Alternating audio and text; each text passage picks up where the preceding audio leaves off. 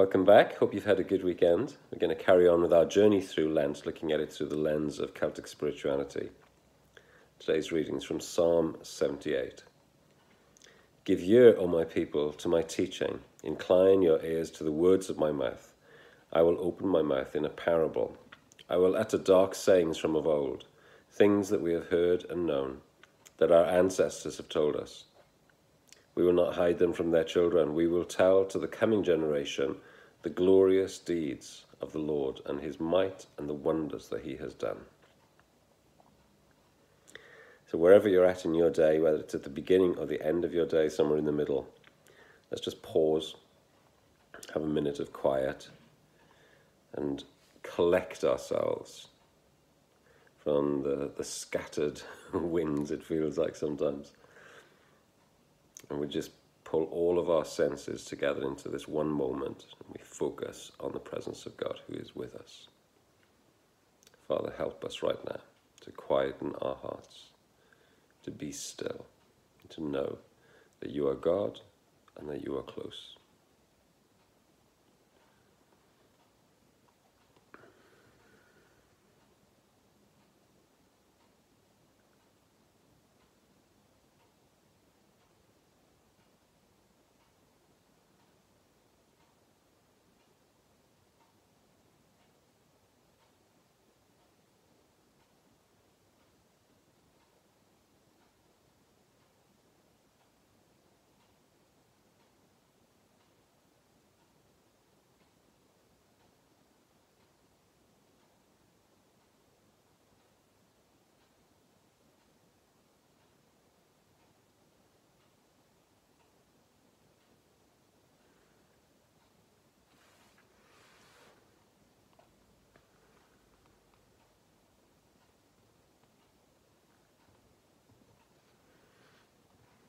As I'm quiet, I can hear some distant sounds the road, traffic, people outside, not too many.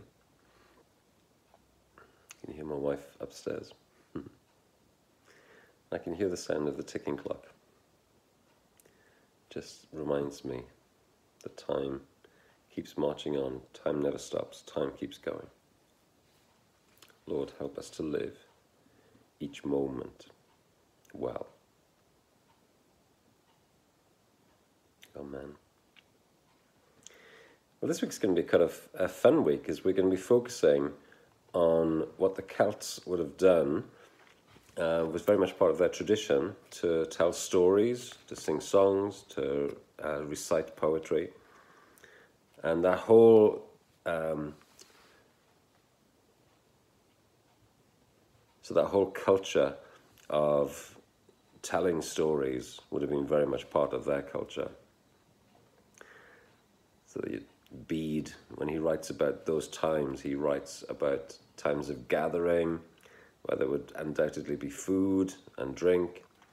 And in the middle of the, the times of gathering where there's food and drink, there would be the telling of tales, the singing of songs, the reciting of poetry. And they used to have something that they would call passing the harp. I love that thought. It's that sense that one person would pass the baton on to the next and take turns of doing their thing. And their thing, whether it's a story or a song or a poem, would have been trying to reflect on something that has depth and trying to bring that deep thought into reality, into real lives. So it might be a song that, that connects with some of the deep thoughts in the Bible or, or in life and then draws them out and makes you really think about them. I love all that sort of stuff. So we're, we're going to be spending um, a moment each day just thinking about one thought in particular. And today I just thought I'd read um, one of the blessings out of this book, Benedictus, by John Donahue. John O'Donohue, sorry. And uh, it'll help us as we just go into some contemplation. So, this is uh, a blessing that he's written, and it's called For Longing.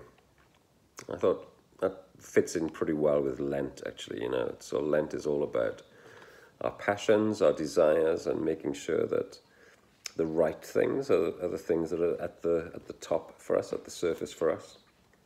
And in the days to come, we'll be reading some ancient Celtic poetry and songs. But today, John O'Donohue.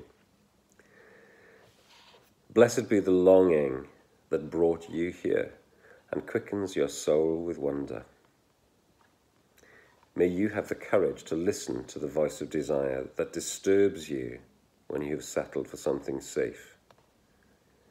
May you have the wisdom to enter generously into your own unease, to discover the new direction your longing wants you to take.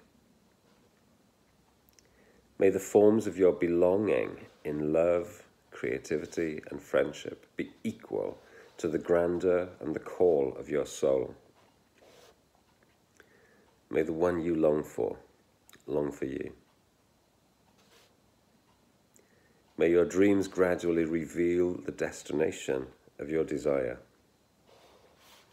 May a secret providence guide your thought and nurture your feeling. May your mind inhabit your life with the sureness with which your body inhabits the world. May your heart never be haunted by ghost structures of old damage. May you come to accept your longing as divine urgency, and may you know the urgency with which God longs for you. Maybe there's something in that that's just popped out to you. And maybe you've got some other favorite prose, song, poem, story that you might like to reflect on. Well, let's just take a moment and allow the longings of our hearts to be drawn in a Godward direction. We'll just pause for 30 seconds.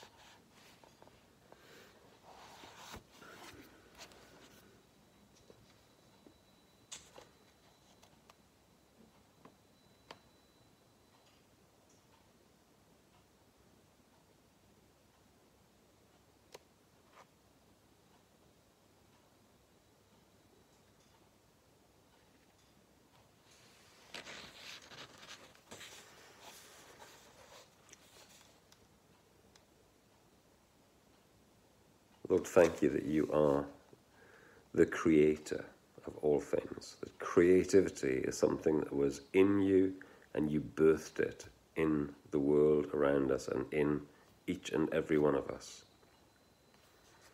Thank you that in our mess, get that picture of at creation, you hover over the waters.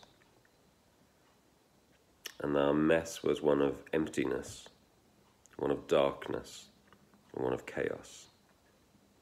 And your creativity spoke a word into our emptiness, darkness, and chaos, and brought fullness, brought light, and brought order. And in bringing all those things, fullness and light and order, you brought incredible beauty to the world and also to our lives. Thank you for your creativity. Help us to engage very, very regularly, probably daily, with the beauty of creativity.